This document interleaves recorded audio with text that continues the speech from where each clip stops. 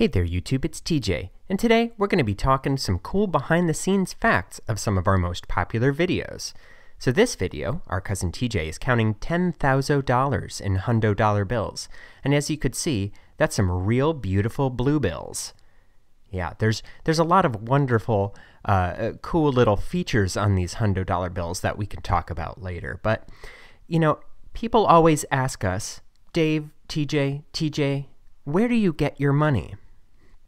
And, you know, people want to know where they could get their own money. So I'm going to lead you to a little secret of where our money comes from.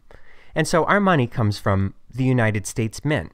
And the United States Mint is a service of the United States federal government that prints money and and also makes coins and also makes bullion, which is like pure pure cool, like shiny metals that pirates used to bite back in the day before there were things like cookies and Oreos.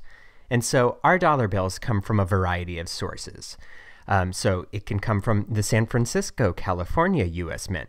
It could come from the Denver, Colorado, aka the Mile High Moneymaker, uh, a U.S. Mint organization out there. It could come from West Point, New York, which is uh, you know where the the army guys learn how to shoot and uh, Philadelphia, Pennsylvania, where, you know what, Benjamin Franklin, whose old mug is on those money, is from. And also Washington, D.C., you know, yada yada, U.S. government. Uh, and then Fort Knox, Kentucky. But that's where all the solid gold and the solid silver and palladium and all, all, all the fancy stuff that we're not counting in our videos comes from. So uh, they could just, you know, go kick a rock down the street for all I care. Um, but what's really special about these 2013 hundred dollar notes that our cousin TJ is flopping down on the money uh, on the money mat is it has a real signature series of characteristics. So these dollar bills have an interesting feel to it. They have raised printing.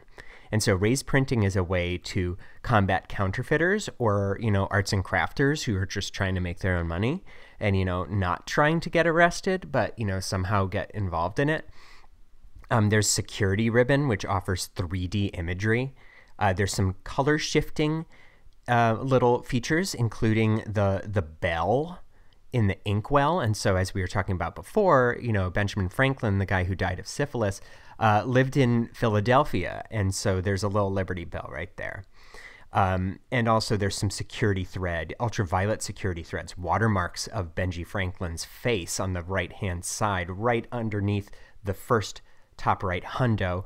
And also, there's micro printing, which means little words and stuff like that down in there. So I hope you learned something today. If not, well, keep on watching our videos, like and subscribe. And don't forget, buy our NFTs. Buy our NFTs.